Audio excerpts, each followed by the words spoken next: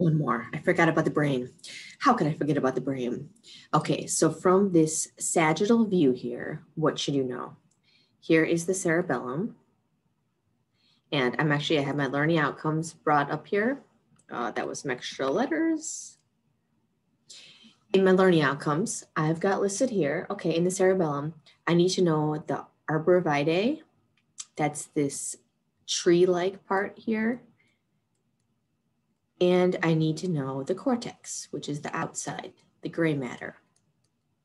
This in the sheep brain is still pretty obvious, right? Um, also on the sagittal section, I need to know the thalamus. And just underneath that is the hypothalamus. Not quite as obvious in the sheep brain, but if I was going to point to it, I would point to the area just underneath the thalamus, kind of a little bit anterior. Um, because posterior, that's where our midbrain is. We've got our pons, our medulla, medulla oblongata, and our spinal cord. What else do we have in this view? We've got our corpus callosum.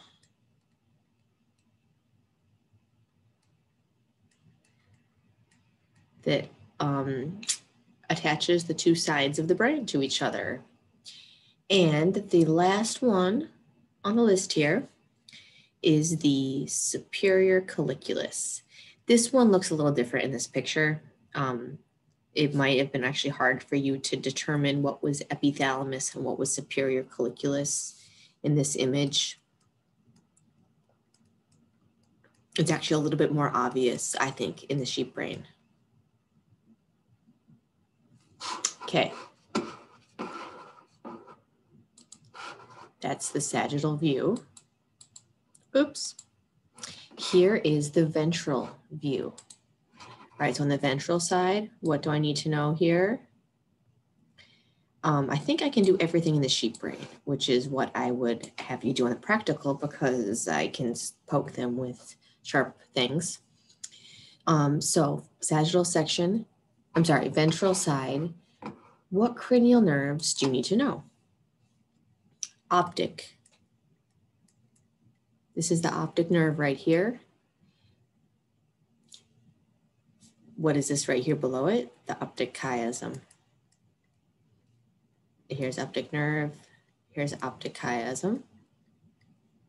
Becomes optic tract, but optic tract isn't on your list for the ventral side. So don't learn it. Just kidding, you should learn it.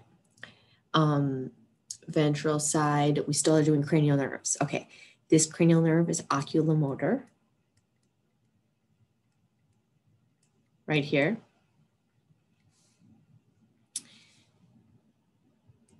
Here we have accessory nerve. Let's, let's be thorough on right nerve. And the last one is olfactory. Maybe not the order you would have done them in, but doesn't matter. Okay, ventral side, we've got medulla, pons, and midbrain. So let's do those. This here, oh, actually I already had the first part written medulla. This big thing right here. We've got the pons right here, this pond shaped thing. And then this entire thingamajigger is our midbrain, where the oculomotor nerve originates from. Pituitary gland is would be on top of here if it was present. It is not present in either one of these pictures. It would be um, covering up all of this stuff here.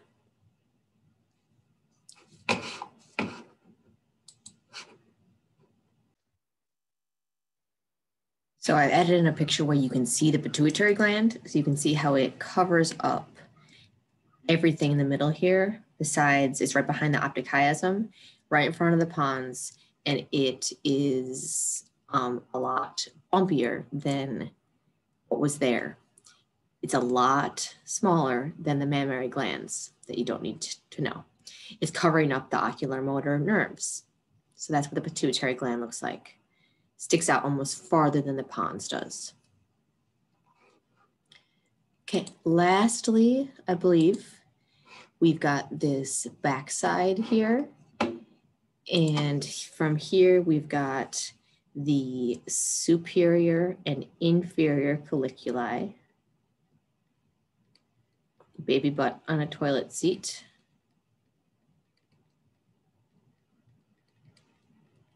Cerebellum, of course. This here is the thalamus. Um, I shouldn't be saying this because I actually don't have you know that from this view. So you don't have to know that, but it could be helpful. Um, and pineal gland that produces melatonin. Then if you, this is from a view a little bit higher up. So here is the superior colliculus. And this right here is the corpus callosum. Really cool view of that, where you can see the fibers running along from side to side. Let me make sure I got everything from um, that back view. Yeah, so pineal gland and colliculi are when the cerebellum is removed, that you need to be able to see that. I mean, I guess things you could do here also would be the occipital lobe, parietal lobe, are the ones you could mostly see from this view. Cerebrum, gyri and sulci. Pia mater, of course, is all over this thing. Dura mater and arachnoid mater has been removed.